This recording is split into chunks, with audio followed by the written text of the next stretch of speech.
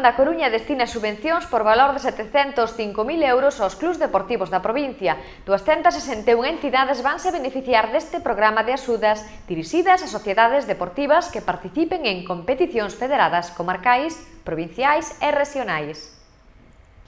A Deputación da Coruña vende publicar a relación de axudas concedidas a entidades deportivas da provincia, 705.000 euros de orzamento para 261 asociacións e clubs coruñeses. O goberno provincial presidido por Valentín González confirma con esta liña de axudas o seu compromiso coa promoción do deporte base na práctica a totalidade dos concellos coruñeses. O fútbol modesto, o baloncesto e o atletismo concentran boa parte das axudas, que tamén se destinan a clubs de outras disciplinas deportivas como o ciclismo, balonmán, voleibol, judo, rugby, natación, hockey, patinaxe, tenis ou remo.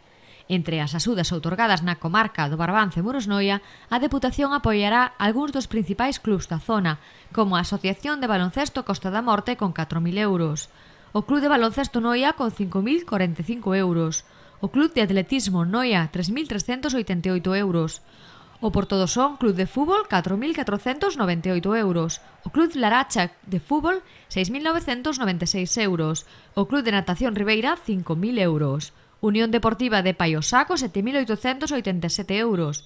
Voleibol Cabo de Cruz, 4.982 euros. O Club de Fútbol de Umbría, 5.996 euros. Ponteceso Sociedad Deportiva, 5.496 euros. Sayas Sociedad Deportiva, 4.185.